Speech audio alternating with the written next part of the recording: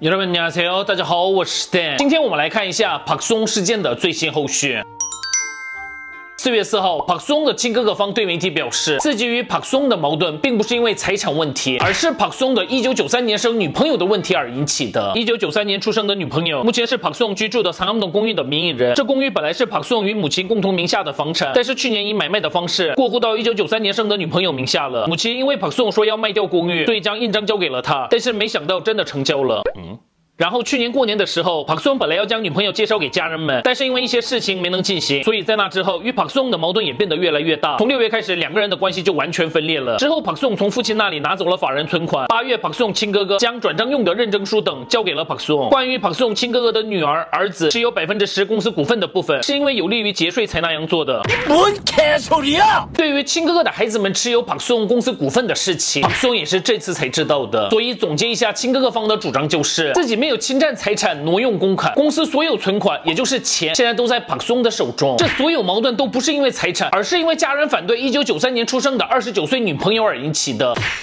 在这里最傻眼的地方是，不知道为什么朴松的亲哥哥方一直强调女朋友是一九九三年出生这么私人的事情。难道是因为朴松是一九七零年生，五十二岁，女朋友是一九九三年生，二十九岁，两个人年龄相差的有点多，所以就想要抹黑朴松的形象吗？而就在前一天，一位自称是朴松亲哥哥朋友的网友也在网上留言。我对朴松很熟悉，朴松现在并不是身无分文，他有很多房产，然后朴松常去海外旅游，去夜店，为了维持自己的形象花很多钱。嗯，不是，整个事件到今天一直都是在说朴松被亲哥哥骗了一百亿，并没有人说过朴松身无分文，然后用自己赚的钱去海外旅游，去夜店，为了维持自己的形象花很多钱，不行吗？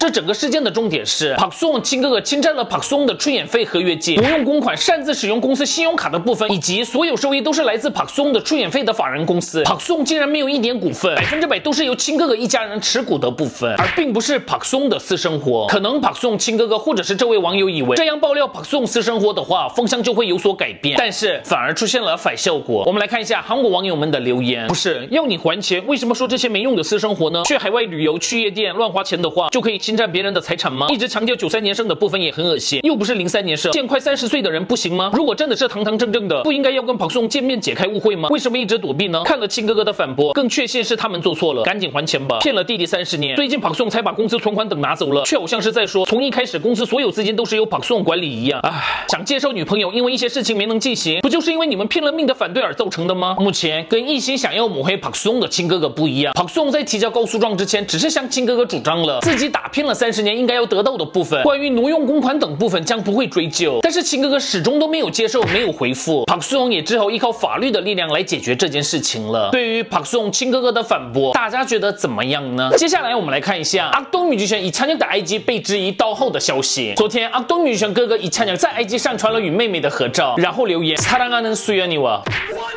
因为跟平常不一样的甜蜜留言，所以很多网友们就怀疑是不是被盗号了。